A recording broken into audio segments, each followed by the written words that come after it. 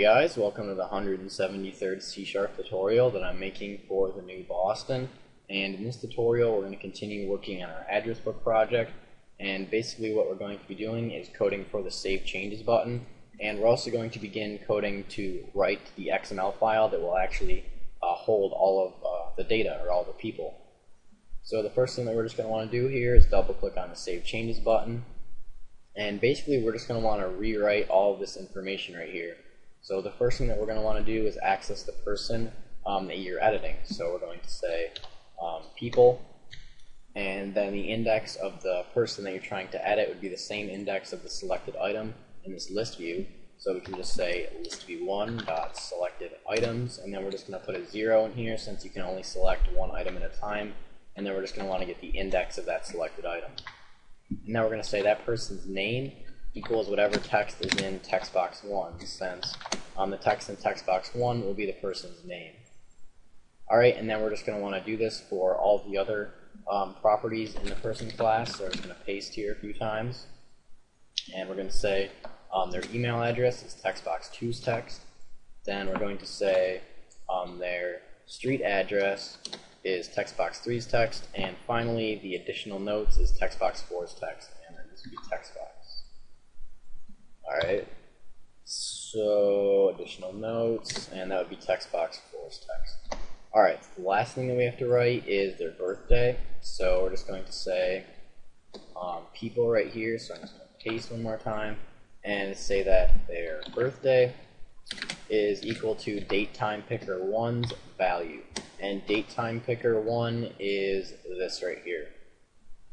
Alright, so now let's just go ahead and make sure that this works. So if we add a person right here, Adam, email address, whatever, at gmail.com, street address, whatever, on Main Street, and birthday doesn't matter, additional notes, none, oops, none, add a contact. Now if we add another one, add this contact. Now if we go back and edit Adam, let's change the name to Bob change the street address to something on River Run, I don't know, and then save the changes. Now if we go back to Adam, we see that the full name is changed to Bob and the street address is changed to River Run.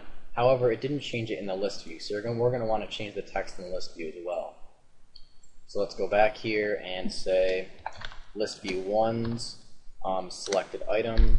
we can only have zero or one item selected, so we're going to put zero in there. And then we're going to want to say the text of that item is equal to text box one's text, which is where you'll be changing the name. Alright, so let's just go ahead and debug and make sure that this works. So we just add Adam, a bunch of stuff, add a contact, another one, add this contact. Now if we change this person's name to like Bob or something, save the changes, we see it changed in the list view as well. Alright, so now what we're going to begin doing is basically writing the XML file. So since we already have the XML file created, we don't have to rewrite it again. So now all we have to do is access this file and edit it.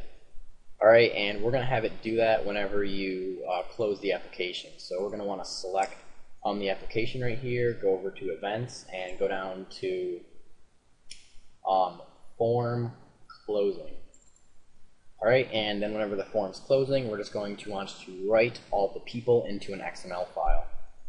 So we're just going to want to say using system.xml since we um, haven't done that yet. So we're going to say using system.xml. And now we're just going to want to go down here and create a new XML document to write in an existing XML file since we already created it up here whenever you load the form. So we're going to say XML document, xdoc, equals a new XML document.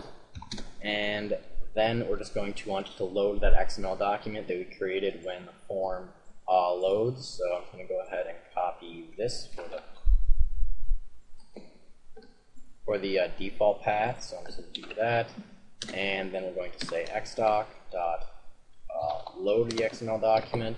And then we're just going to want to uh, provide the rest of the path to the XML document. So I'm just going to go ahead and, oops, I'm going to go ahead and copy this right here and say path plus and then the rest of the path right there.